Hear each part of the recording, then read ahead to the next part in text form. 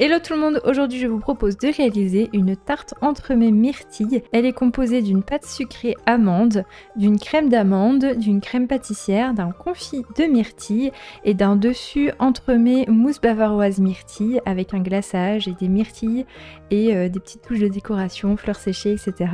J'espère que la recette va vous plaire, j'ai essayé de détailler au maximum. On commence par la crème bavaroise myrtille. Je commence par hydrater la gélatine dans de l'eau froide.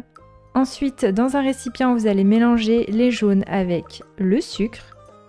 On va en fait réaliser une crème anglaise à laquelle on va rajouter de la gélatine. Dans une casserole, je verse la crème et le lait.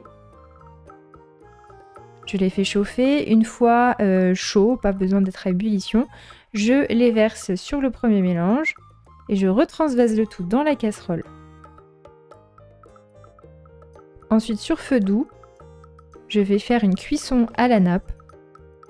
Donc avec une marise, vous mélangez en continu et vous contrôlez la température. Lorsque la température atteint les 83 degrés, vous retirez la casserole du feu, vous versez le tout dans un autre récipient pour stopper la cuisson et une fois en dessous des 70 degrés, vous allez pouvoir ajouter la gélatine et bien mélanger. Vous filmez au contact et vous réservez au réfrigérateur. Pour la crème bavaroise, on a aussi besoin d'une purée de myrtilles. Donc tout simplement on dépose les myrtilles dans une casserole, on fait bouillir et ensuite vous mixez le tout. J'ai passé euh, le tout dans un tamis et voilà, j'ai récupéré une petite purée euh, de myrtilles. Je filme au contact, je réserve au froid. Et troisième pièce de la crème myrtille, la crème montée. Donc une fois que la crème anglaise et la purée euh, de myrtille sont froides, et eh bien vous allez pouvoir monter la crème liquide 30% de matière grasse froide. On va l'ajouter petit à petit dans la purée de myrtille froide. Donc j'ajoute une première partie énergiquement, le reste je l'ajoute plus délicatement. On obtient une belle couleur Les myrtilles donnent des super couleurs aux crèmes. Je récupère la crème anglaise. Si elle est bien prise, eh bien, il faut bien la fouetter pour bien la détendre et qu'elle redevienne un petit peu euh, plus souple. Pour qu'elle puisse bien se mélanger à la crème montée avec la purée de myrtille. Encore une fois, j'ajoute une petite quantité énergiquement et le reste délicatement.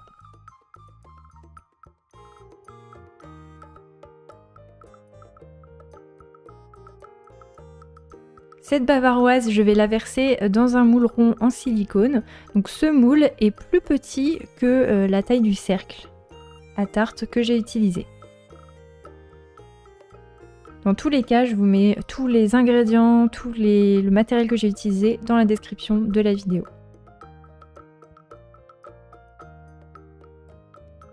Ensuite, on passe au confit de myrtille.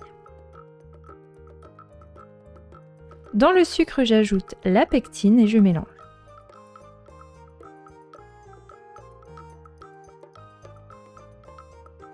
Ensuite, dans la casserole, je verse les myrtilles. Je porte à ébullition et une fois ébullition, vous pouvez ajouter le mélange sucre et pectine. Et cette fois-ci, on va mélanger sans arrêt pendant une minute à ébullition. C'est super simple de réaliser un confit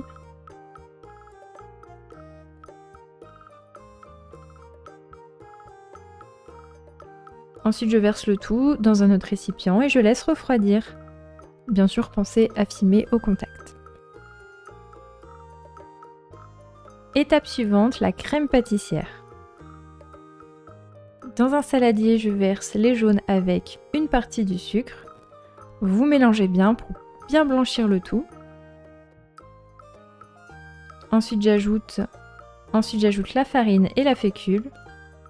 Vous mélangez bien.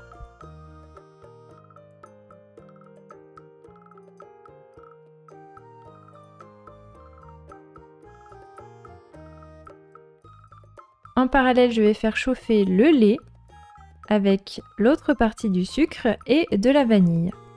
J'utilise de la, poudre de vanille, vous pouvez utiliser une gousse de vanille si vous en avez une.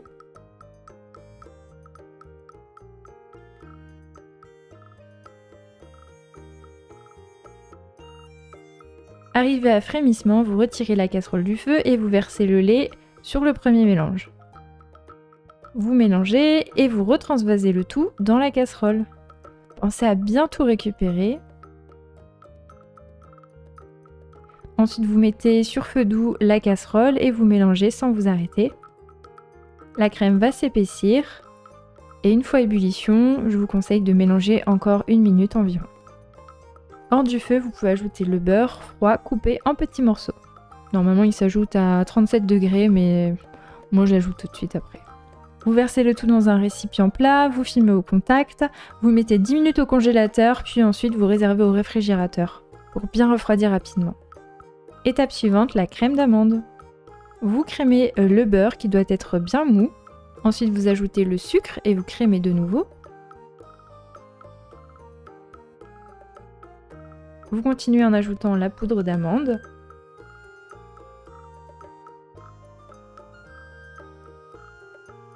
Mélangez. Ensuite, on va ajouter l'œuf battu. Vous mélangez de nouveau, mais sans trop fouetter. J'ajoute de l'extrait de vanille.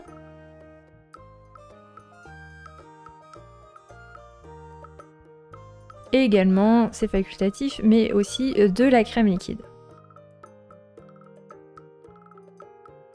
Je filme au contact et je réserve au frais.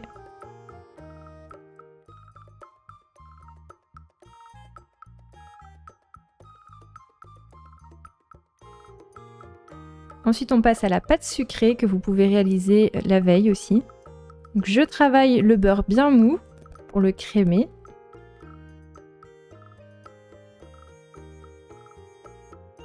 Pensez à souvent racler le bol. Ensuite, j'ajoute le sucre glace, je mélange de nouveau. J'ai utilisé ici le robot avec euh, la feuille. Vous pouvez aussi le faire à la main. Une fois qu'on obtient euh, quelque chose de bien crémeux, j'ajoute l'œuf battu. Vous mélangez, pas besoin de mélanger de trop, il faut qu'il y ait des petits morceaux. Et ensuite, j'ajoute la farine, la poudre d'amande et l'extrait de vanille. Je mélange une dernière fois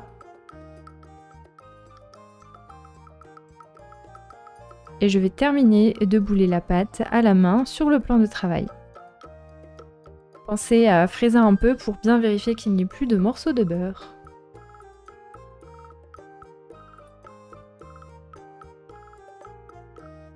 Vous aplatissez un peu la pâte en carré, vous la filmez bien et on la réserve une heure au réfrigérateur. Froide, elle sera plus simple à travailler.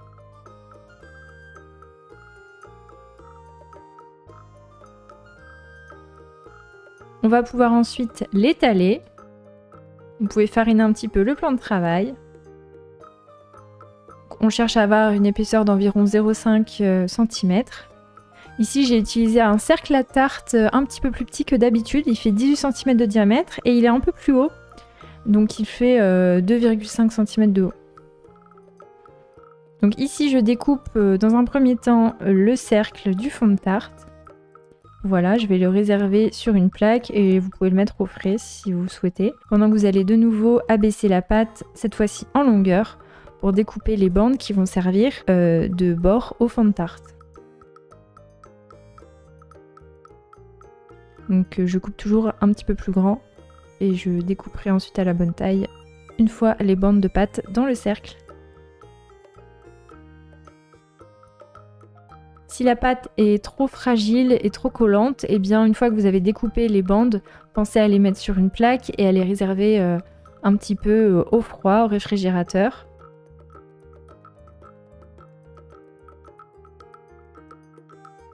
Après, il ne faut pas qu'elles soient trop dures non plus, sinon elles vont euh, casser et ne pas se mettre facilement dans le cercle. Je récupère le cercle que j'ai beurré à l'intérieur, je le dépose sur un tapis de cuisson sur une plaque. Je commence par déposer les bandes sur les bords. Je les colle bien au cercle. Je fais aussi bien la soudure entre les différentes bandes. Une fois que le bord est en place, on va pouvoir déposer euh, le disque de pâte au centre. Il faut bien faire la soudure entre les bords et le fond de tarte. J'ébarbe le dessus avec un couteau et je réserve 15 minutes au réfrigérateur. On va commencer par faire une pré-cuisson. Donc je dépose du papier cuisson et du poids par-dessus, donc des billes d'argile ou des haricots secs. Je pré-cuis 15 minutes dans un four préchauffé à 170 degrés. Au bout de 15 minutes, je retire la plaque du four et je vais enlever les pois. Je vais laisser refroidir totalement.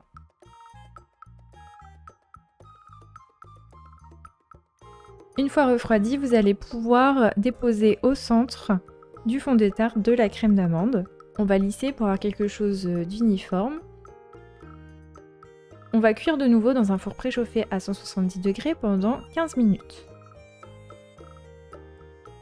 Au bout de 15 minutes, normalement vous pouvez retirer le cercle. Si besoin, vous pouvez passer un, couteau euh, pour pouvoir l'enlever plus facilement. Et vous allez pouvoir badigeonner le bord avec un œuf entier. Et on va euh, laisser cuire 5 minutes de plus pour dorer le fond de tarte.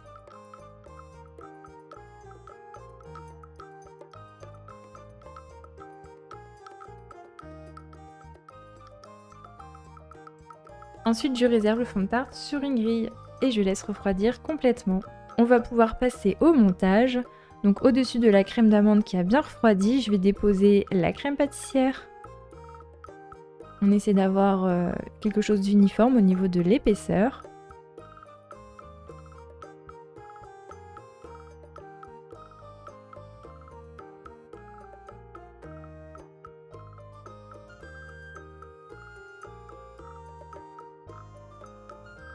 Et ensuite par-dessus, on va déposer le confit de myrtille qui est froid également.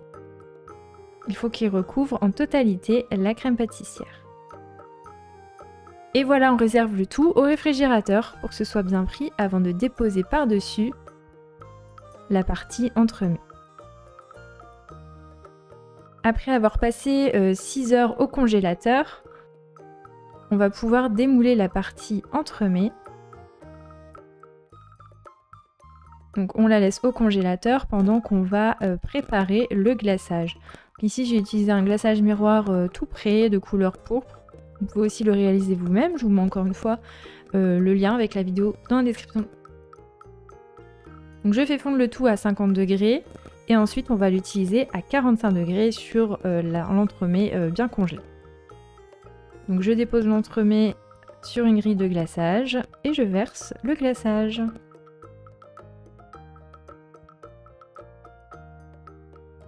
Je passe la spatule pour enlever le surplus. Et on va bouger un peu l'entremet pour enlever le surplus de glaçage en bas. Et ensuite, délicatement, on va euh, le soulever le déposer au-dessus du confit de myrtille au centre. Et avec la dimension des moules que j'ai utilisées, il me reste euh, juste un peu d'espace autour pour déposer toute une rangée de myrtilles. Donc je vous le redis, euh, tout le matériel et les dimensions seront dans la description de la vidéo. Donc je dépose plein de petites myrtilles. Je réserve au frais pour euh, figer le tout et ensuite à la fin je vais pouvoir décorer. Pour de la décoration, j'ai utilisé euh, de la feuille d'or, des petites fleurs séchées, violettes, bleues et également jaunes. Ça va très bien avec le violet. Vous pouvez ensuite euh, ajouter ce que vous souhaitez. Et voilà, la recette est terminée. J'espère qu'elle va vous plaire. Je vais vous montrer l'intérieur. Il faudra euh, la laisser au réfrigérateur environ 2-3 euh, heures pour que la partie entremets puisse décongeler totalement. J'ai essayé de détailler au maximum la recette étape par étape, que vous puissiez la refaire facilement. Vous pouvez reprendre l'idée euh, de la recette et euh, changer tout simplement euh, le fruit. N'hésitez pas à tester, à me dire ce que vous en avez pensé dans les commentaires. Likez la vidéo si elle vous a plu. Et n'oubliez pas de vous abonner à ma chaîne pour suivre toutes mes vidéos et me soutenir. Je vous dis à très bientôt pour de nouvelles vidéos.